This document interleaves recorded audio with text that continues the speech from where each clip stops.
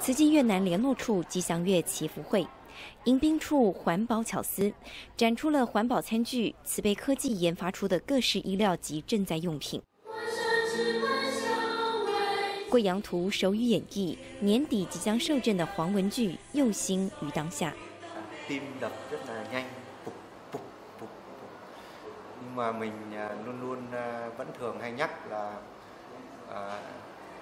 nghĩ đến sư phụ nghĩ đến tam bảo chắc chắn sẽ có một cái sự gia hộ cho nên là khi à, bắt đầu nhạc lên thì à, tĩnh tâm lại à, bước lên thì mọi thứ à, diễn ra giống như lúc mình tập mọi thứ rất là tự nhiên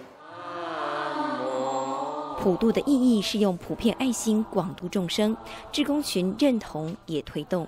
bởi vì sao gọi là cô hồn đó là những cái người mà cô đơn khổ thiếu lắm mà người ta lại sợ nữa người ta sợ tháng 7 này, người ta sợ xui lắm.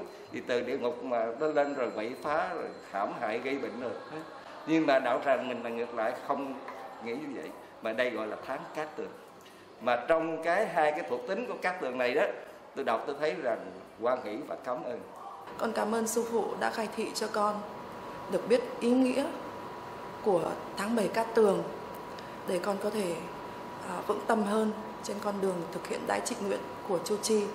Cũng là đại chí nguyện sự nghiệp của cuộc đời con. 回收宝特瓶做成的结缘品，装满心意和祝福，点亮心灯，去除无名，日日是好日，月月年年都能有吉祥平安。大新闻文天亮、陈依晴越南报道。